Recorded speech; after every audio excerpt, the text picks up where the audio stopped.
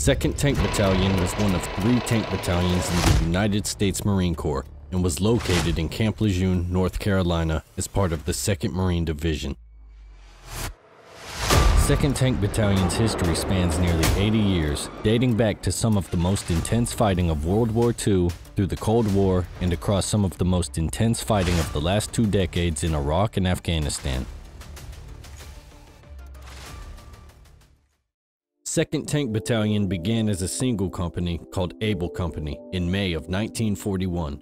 Able Company's first overseas assignment was to Iceland with the 1st Marine Brigade under the command of Major John H. Cook.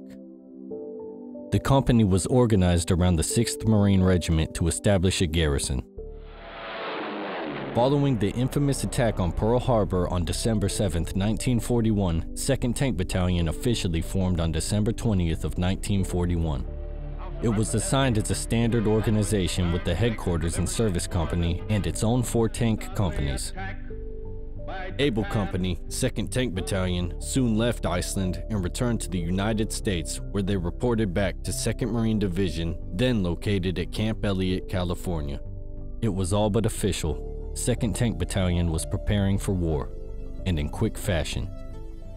By March of 1942, Baker Company was on its way to the island of Samoa for defensive operations after the island was threatened by Japanese submarines. Charlie Company sailed with 2nd Marine Regiment to Tulagi Island to be part of the famous Guadalcanal Campaign, the first major campaign of the Pacific Theater.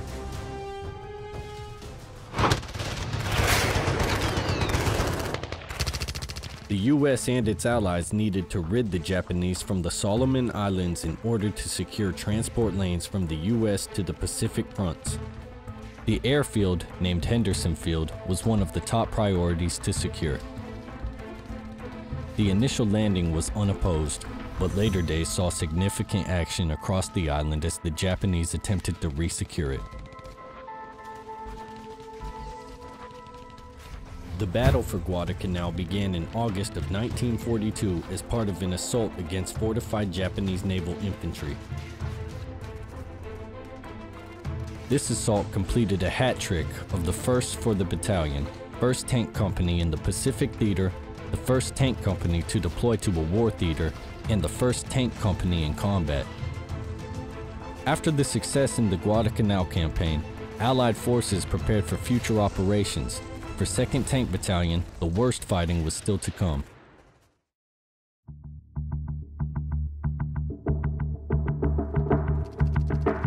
The Battle of Tarawa took place as part of Operation Galvanic from 20 to 23 November 1943 to recover the Gilbert Islands in the Pacific Ocean northeast of Australia. Tarawa was the first major offensive operation in the Central Pacific as Allied forces sought the need for land-based bombers to be used in support of amphibious landings throughout the war. The Marshall Islands were cut off from the U.S. via the island of Betio.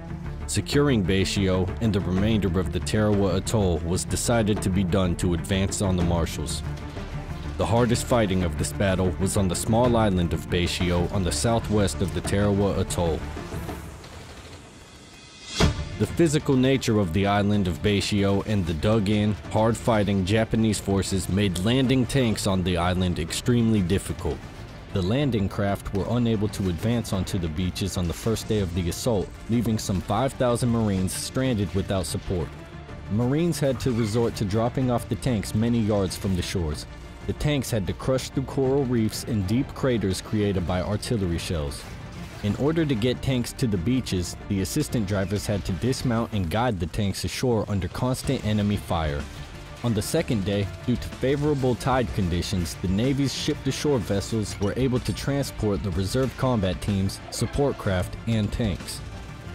With the bulk of the landing forces ashore, the Marines were able to launch offensive operations against the Japanese pillboxes and fortifications.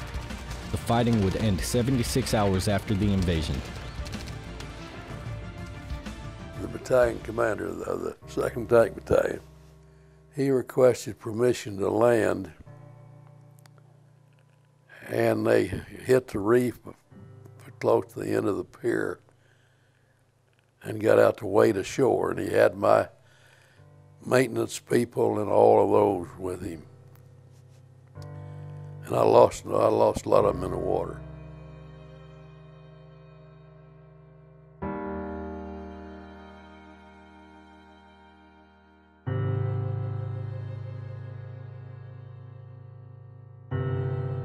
After the Battle of Tarawa in late 1943, early 1944, 2nd Tank Battalion reorganized in Hawaii into four companies. After more than 1,000 troops were killed in the fighting on Tarawa, U.S. commanders learned important lessons that would be applied to the future atolls. In Hawaii, the battalion sought out to establish new training tactics and procedures using the experience learned in the battles of Tarawa and Guadalcanal. As a result, companies A, B, and C became medium tank companies after the light tanks proved to be ineffective against Japanese defense positions. Dog Company became the Flame Tank Company, utilizing the M3A1 Satan tanks augmented with M5A1s. In June and July 1944, 2nd Tank Battalion redeployed to the Pacific to take part in the Marianas and Palau Island campaign. The battalion attached companies to support the landings across Saipan and Tinian. The conquest of Saipan became the most daring and disturbing operation in the U.S. war against Japan, and when it was over, the United States held islands that could place B-29 bombers within range of Tokyo. Initial intelligence estimates expected a light resistance on the island of Saipan. It was believed that Japanese forces had planned for the US to attack further to the south. However, Japanese resistance proved far greater than anticipated, not least of all because the latest intelligence reports had underestimated troop levels. For at least a month, Japanese forces had been fortifying the island and bolstering its forces.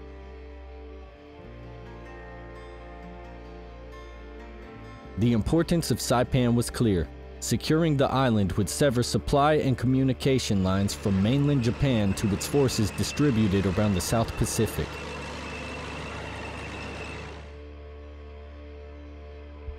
In Saipan, Able, Baker, and Charlie companies of 2nd Tank Battalion landed with the infantry to secure the beachhead.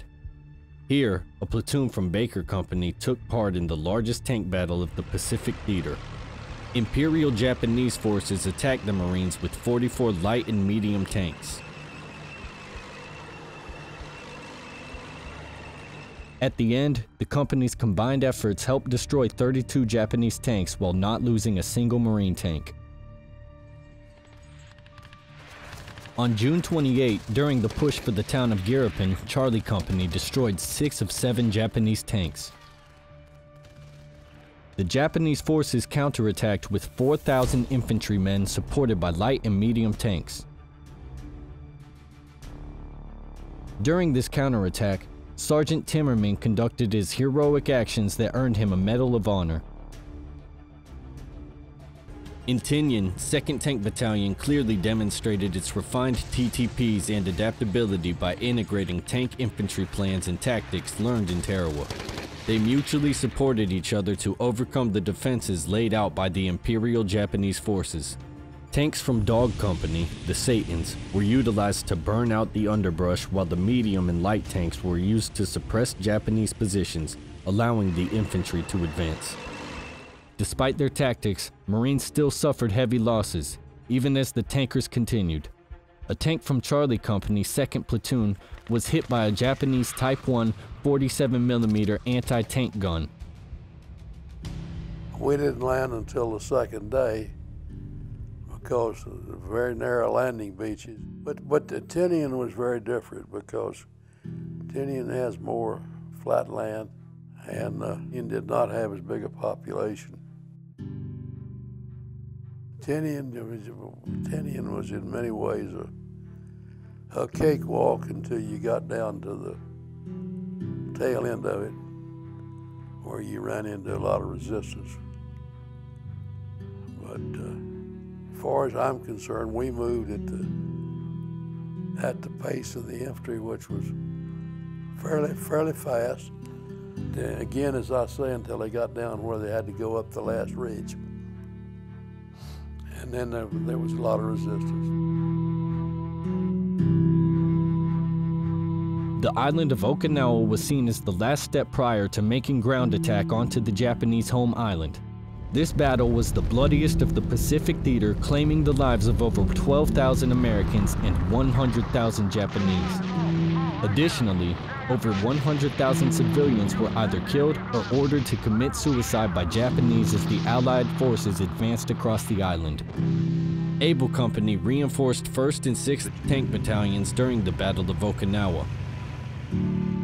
After the Battle of Okinawa, 2nd Tank Battalion moved back to Saipan to prepare for the invasion of mainland Japan. That from this solemn occasion, a better world shall emerge out of the blood and carnage of the past.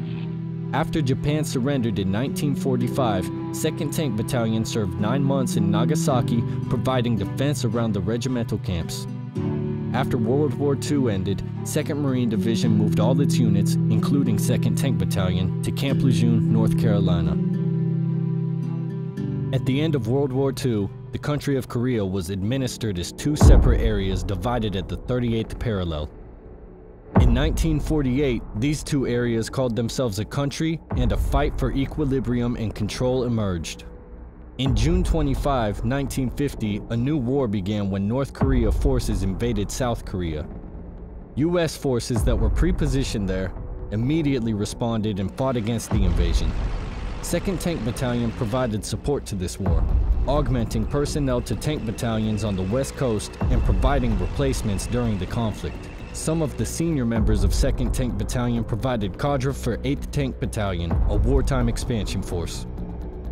2nd Tank Battalion itself continued training and routine deployments from the east coast of the U.S., traveling to the Caribbean and the Mediterranean Sea. 1st Platoon, Delta Company, 2nd Tank Battalion deployed with the Marine Amphibious Unit when called upon by the way of the Suez Canal to join 1st Marine Division for an amphibious landing at Incheon. This amphibious landing broke the hold of the Marines and soldiers fighting at the Pusan perimeter. In the years after the Korean War, 2nd Tank Battalion continued to provide support around the world.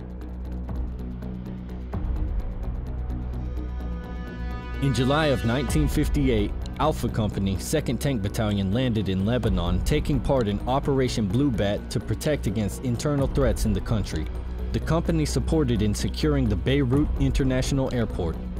After securing the airport, the force was to move to the Beirut port and secure approaches to the city. The operation ended with the peaceful transfer of power between Presidential Chamoun and President-elect General Chehab. In October of 1962, 2nd Platoon of Charlie Company embarked upon USS Lindenwald in August and toured the Caribbean for three months. On the way home, they landed on Guantanamo Bay on October 22nd. The deteriorating relations with Cuba had already caused the 2nd Marine Division to furnish a garrison detachment to the U.S. Naval Base at Guantanamo beginning in 1961. Well, Cuba, we went there with a company of uh, infantry from uh, the 6th Marines. It was one company and then one platoon of tanks, which was uh, five gun tanks plus two uh, flame tanks. And our job was to assist them in uh, protecting and guarding uh, the ridge line, we called it, where the wire was that separated communist uh, Cuba from, uh, from Gitmo. As the Cold War continued to heat up, 2nd Tank Battalion remained prepared to respond to contingencies. In October 1962, it was evident that Cuba's cooperation with the USSR was becoming a threat to the continental United States when intermediate ballistic missile sites were observed by reconnaissance aircraft. The battalion deployed again as part of the blockade force responding to the resulting Cuban Missile Crisis. Following diplomatic agreements with Cuba and the USSR, the battalion returned to Camp Lejeune in early December where it resumed peacetime deployments. In August of 1982, 2nd Tank Battalion was part of the 22nd, 24th, and 32nd Marine Amphibious Units deployed to Beirut, Lebanon as part of a multinational force to help bring back peace after a bloody civil war had erupted there.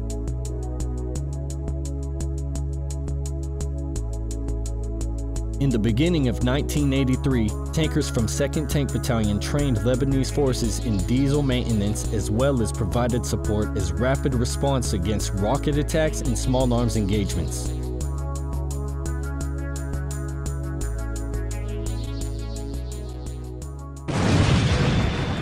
It was during this deployment that Marines endured one of the worst attacks on U.S. personnel when on October 23, 1983, a suicide bomber made his way into the Marine Corps barracks in Beirut and blew himself up, killing 241 Marine, Navy, and Army personnel, including members of 2nd Tank Battalion. I know there are no words that can express our sorrow and grief over the loss of those splendid young men, and the injury to so many others. I know there are no words also that can ease the burden of grief for the families of those young men. The force still remained in a defense posture until April of 1984 when President Ronald Reagan ordered the withdrawal of troops from the Beirut conflict. Even while tank forces from 2nd Tank Battalion were in Beirut, the 22nd Marine Amphibious Unit with a platoon from Alpha Company, 2nd Tank Battalion, landed in Grenada to defend against destabilizing political conditions there. After World War II, 2nd Tank Battalion provided support to conflicts with augmented tank companies, platoons, and personnel.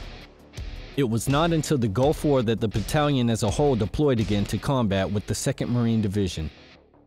In 1991, 2nd Tank Battalion deployed to Saudi Arabia for a liberation of Kuwait, fully equipped with the new M1A1 under the command of Lieutenant Colonel Carty. Uh, we transitioned from the uh, M60A1 to the M1A1 uh, main battle tank and uh, took it to uh, Desert Storm in uh, January of 91. Utilizing an overwhelming force doctrine with the M1A1, 2nd Tank Battalion far outgunned Iraqi armor. During the battle for Kuwait International Airport, Bravo Company, 4th Tank Battalion, was attached to 2nd Tank Battalion when they fought in the Reveille engagement, which was seen as the biggest and fastest tank battle in Marine Corps history. The company did not know they were outnumbered 3 to 1 when they woke up the morning of 25 February. They saw enemy tanks moving close to them, and within 90 seconds, the whole company was on the attack to destroy them all. Within seven minutes, the company had destroyed over 37 tanks and personnel carriers, and took over 70 prisoners of war. It's a wonderful thing when you can see the puff of white smoke in the distance. I'm talking Desert Storm as a driver. See a puff of white smoke in the distance, like that's that's all bad, you know. And you start backing up as a platoon, uh, and then the gunner's laid on, and pulling the trigger, and you see the fireball. It's like, well, that's all good. During Gulf War conflict, 2nd Tank Battalion supported infantry regiments and served as the Division Reserve. By the end of the conflict, 2nd Tank Battalion had taken over 800 prisoners of war and destroyed over 116 enemy vehicles. After the ceasefire and the war ended, the battalion conducted retrograde operations and began redeploying to Camp Lejeune. The decision not to continue operations further into Iraq to either kill or capture Saddam Hussein would cause issues in 2003. American 11, are you trying to call? The cockpit is not answering their phone. Our number one has been staffed and our five has been staffed. Hey, I'm going to call from Washington. I am in a situation with American 11, a possible hijack. What's going on, Betty? Aircraft is erratic again.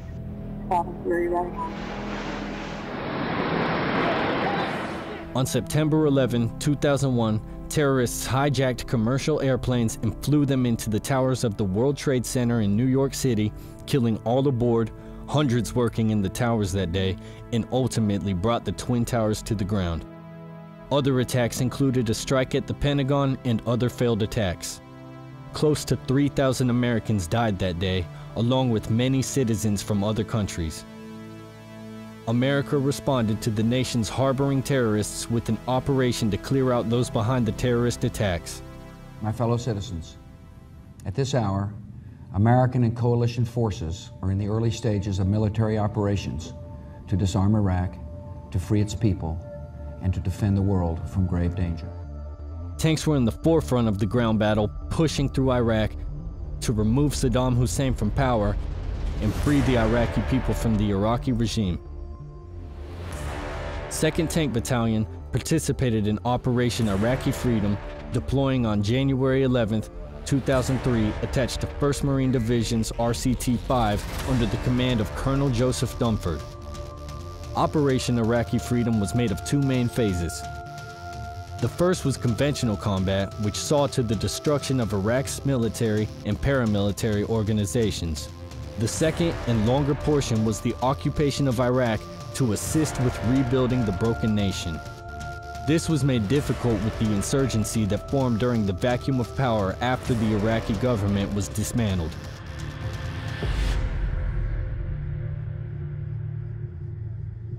On March 20, 2nd Tank Battalion, led by Lieutenant Colonel Mike Oehl, crossed with RCT-5 across the southern border of Iraq on the way to Baghdad.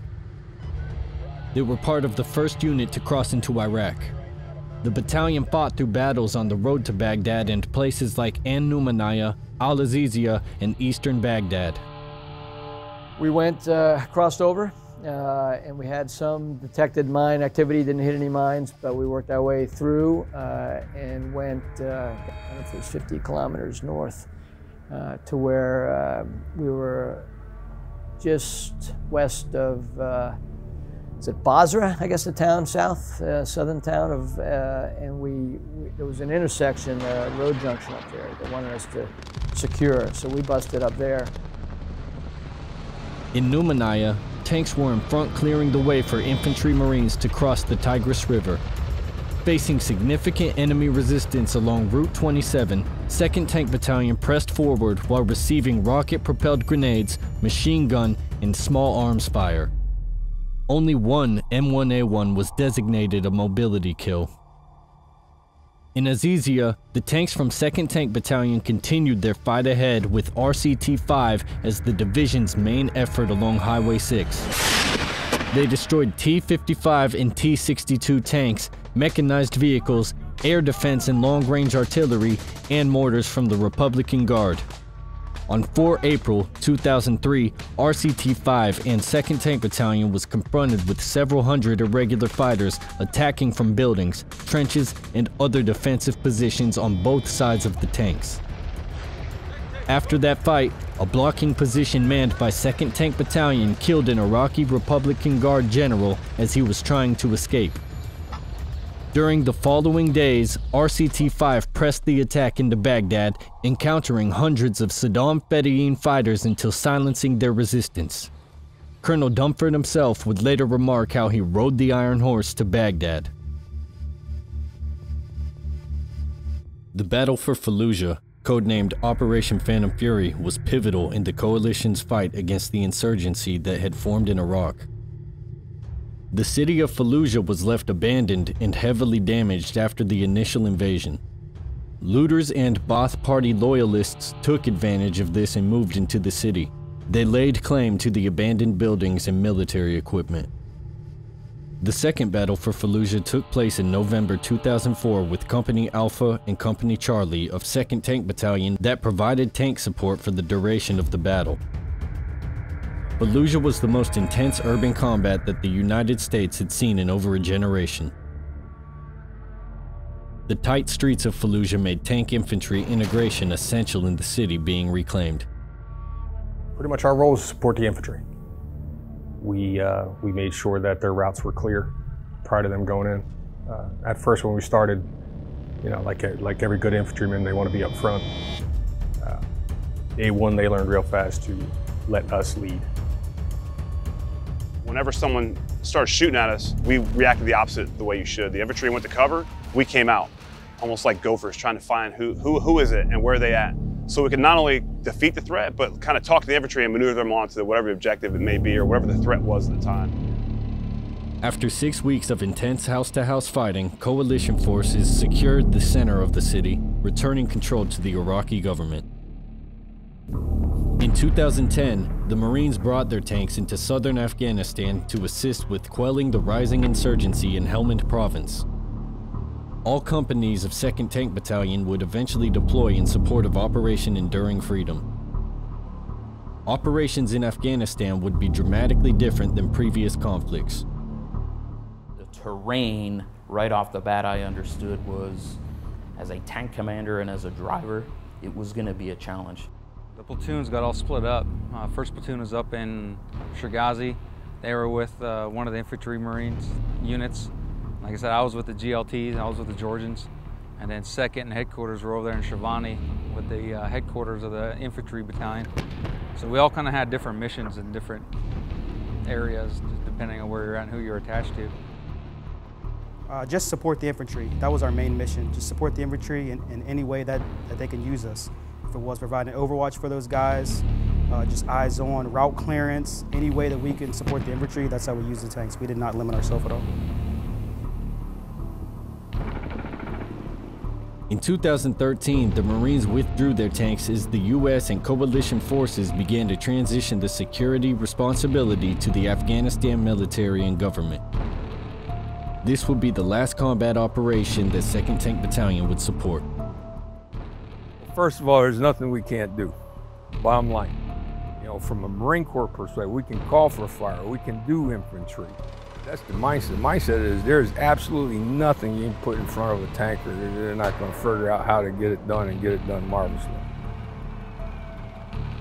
You know, it, people say hey, you, you, got Army tanks, you got Marine tanks. Well, you got Marine tanks, and you got Marines in Marine tanks, and uh, that's the best part and the most lethal lethal part of, of the Iron Horse is the Marines inside of them and the skill sets that they have in possession and, and just the drive and competitiveness they have to make themselves better every single day.